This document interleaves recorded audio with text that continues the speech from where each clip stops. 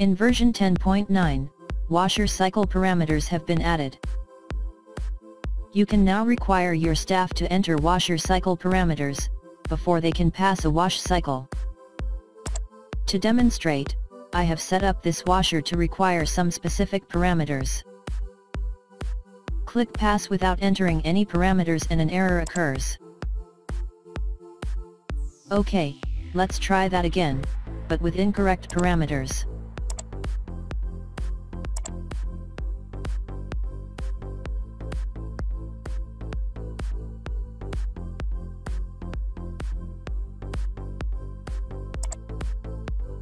The cycle cannot be passed. Now, when we add the correct parameters, the cycle can be passed.